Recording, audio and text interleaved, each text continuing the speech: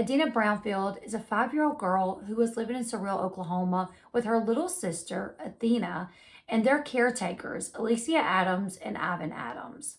They have been living with their caretakers for almost two years. Their biological parents could not take care of them. So, about two years ago, their biological parents brought them to Alysia and Ivon. Alysia is related to the biological parents of Athena and Adina. On January 10th, 2023, Adina was spotted outside her home close to the highway by a mail carrier. This postal worker, when she noticed Adina, she decided to go up to Adina and ask where her parents were. Adina pointed her to where her house was and told her that she didn't know where her parents were, but that she was actually looking for her little sister. She told the mail carrier that she had been home alone for several days. She was scared. She was tired of being home alone. She was looking for her sister and she was hungry. The mail carrier immediately called the police. The police got in touch with the owner of the home, who then told the police that they rented the property to Alysia and Ivon Adams. The police then contacted Alysia, who told them that she had no idea why Adina was home alone. She told them that her husband Ivon was supposed to have all the children. Alysia and Ivon had four biological children together. In the past two years, they've been taking care of Adina and Athena. Alysia's story was she was out of town and her husband Ivon was supposed to have all the children. When law enforcement officers told her that they had actually found Adina outside the house alone, Alysia reportedly asked, Well, where was Athena? At that point, law enforcement agents realized that Athena was missing. Now, because Adina was home alone, they did arrest Alysia Adams and they charged her with two counts of child neglect. When she was first arrested, she stuck to her story that the children were supposed to be with her husband. Her husband was gone to Arizona with the other children to go to her dad's house. Local news stations started reporting that there was a four year old missing in Cyril, Oklahoma. Alysia ultimately told the police when she was interrogated a second time that Athena was dead. That on the night of December 25th, her husband, Ivon Adams, took the life of four year old Athena. Now, she gives no reason as to why Ivon killed Athena. She only says in her statement that on the night of December 25th, that Ivon beat Athena to death. And then on the early morning hours of December 26th, he took her body to where they used to live and buried her. Alysia and Ivon have been living in the home in Cyril for about six to eight months. But before that, they lived in another house who was owned by a family friend. They had lived there for several years. That house came with a lot of property. According to Alysia, Ivon buried Athena on this property. When Ivon was finally found in Arizona, he was arrested and he was charged with one count of murder in the first degree and one count child neglect. News of this case was spreading like wildfire. It was on media outlets, it was on different YouTube channels. Everyone was covering this story. Things about this story just did not make sense. Alysia and Ivon seemed happy. In earlier photos in early December, going back to September, going back to 2015. You could see photos on Alysia and Ivon's Facebook page, their social media pages of them happy and love, of their children. Now, what you didn't see is any photos of Athena or Adina on either one of their social media pages. At first, people just thought, well, maybe that was an agreement that because she had the kids, maybe they were foster kids, she couldn't post photos of them. Eventually, we found out that that was not the case, that there was no court documents in place. They were not foster kids. They were just two children that she was taking care of for a family member. And while she and Ivon never posted photos of Adina or Athena, Alysia's mom, she did. She would post photos here and there when she was keeping her grandkids. And Alysia's mom did refer to Adina and Athena as her grandkids. It seemed like the couple had a great life. It seemed like they were happy. So what went wrong? Why on December 25th was this little girl taken? Why was she brutally murdered? Upon looking through their social media accounts a little bit further, we realized that Alysia and Ivon were no longer together. That even though they were together on Christmas, they seemed really happy over the past few years, they were even together on December 30th. They were out on a date night, and Alysia's mom had the kids. But on January 7th and 8th, Alysia was with her new boyfriend in Oklahoma City, about an hour away from her house, enjoying a date night, movies, a nice dinner. And according to her Facebook post, she was happier than she's ever been. This is just a week after her and her husband was out on a date night. This is just 12 days after Athena was allegedly killed. Looking through Alysia's social media pages, you see on the days after Athena was allegedly killed, Alysia, the lady that was supposed to take care of her, is going to the nail salon, showing off her new nails, is going to the hair salon, getting her hair done. She's going out on dates. She's posting things about how happy she is. Nothing about this sits right.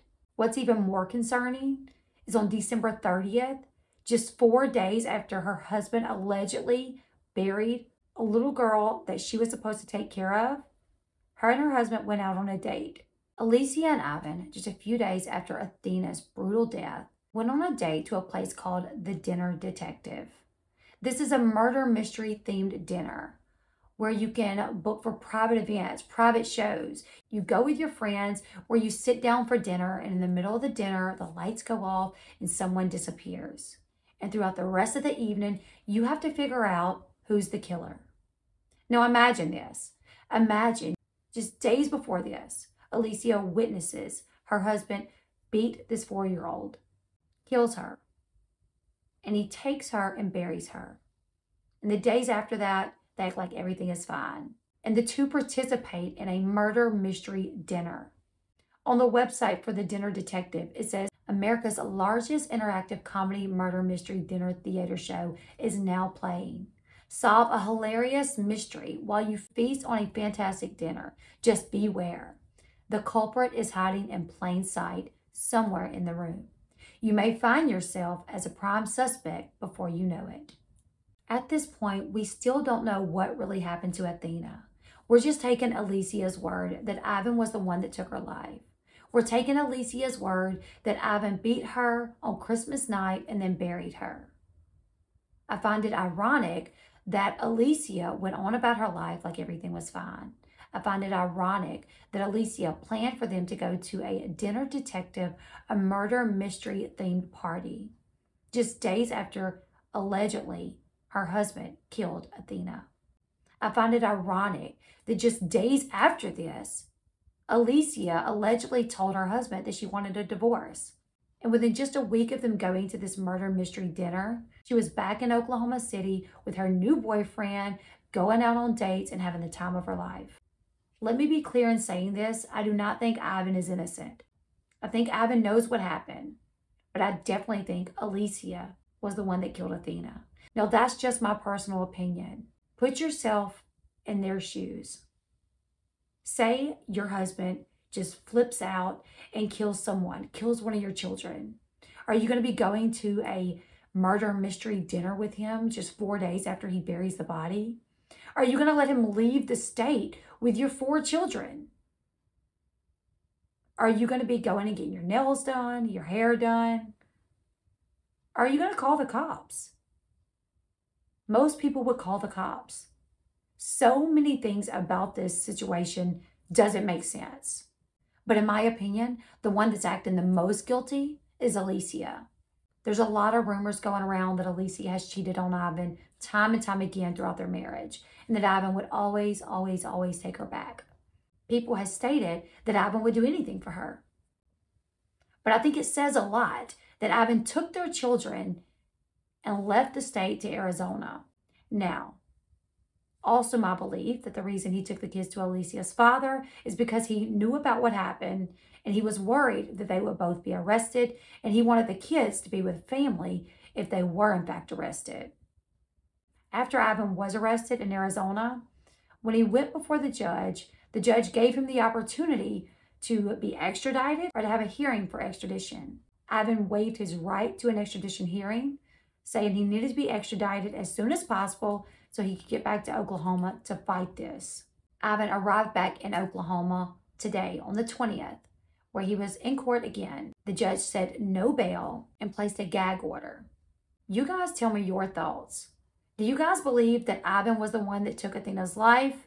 I think it's super strange how Ivan and Alysia went out on December 30th, just five days after, according to Alysia, he killed a four year old that called Alysia mom.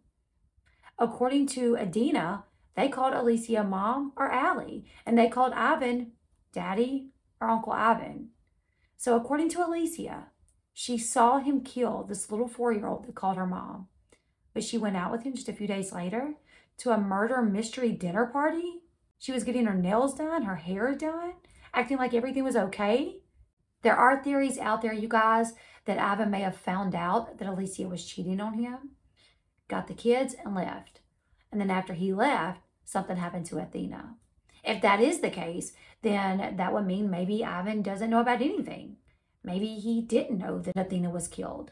Now, there are things that contradict that. On January 17th, exactly a week after Adina was found and Athena was reported missing, law enforcement agents did find child remains on the property where Ivon and Alysia used to live. We have yet to get confirmation if those remains are that of four year old Athena Brownfield. I think we can all speculate that it is, but we haven't gotten solid confirmation. Now, one thing that we can't dispute is according to law enforcement agents, they have said that Ivon's cell phone did ping near that location where the child's remains were found on December 26th around 4 o'clock in the morning. There are theories that maybe Alysia killed Athena herself and took Ivon's phone with her to go bury the body. That way, she could ultimately pin this on Ivon. I don't know, you guys. I want to hear your thoughts in the comment section below. One thing that was really mind blowing to me is the fact that Ivon and Alysia attended this murder mystery dinner just five days after Athena was killed by one of them. That doesn't sit well with me. This whole thing is a sad, heartbreaking story. There are evil people in this world, and whoever took Athena is evil. And from what we know, it was either Ivon or Alysia, and both of them attended the murder mystery dinner. And that, in my opinion, is just sick. You guys leave me your thoughts in the comment section below. I'm going to continue to keep up with this situation. Any news that comes out, I'll be here to let you guys know. Um, we are waiting for them to identify the remains of the child that was found on the property. And like I said, while obviously it would seem that it would be Athena's remains. We have not got confirmation from the medical examiner. So when we do get that confirmation, I'll be quick to hop on here and let you guys know. I'm going to continue to follow this story. You guys leave me your thoughts in the comment section below. Does it make sense that Ivon would be the one to take Athena's life? He left the state. He took his four children and went to Arizona. But Allie, she stayed there. She left Adina home alone. That's not a question. We know that. What we don't know is who killed Athena. You guys leave me your thoughts in the comment section below. Make sure you subscribe to this channel to continue following the story. Give this video a thumbs up and I will see you guys in the next one. Goodbye, everyone.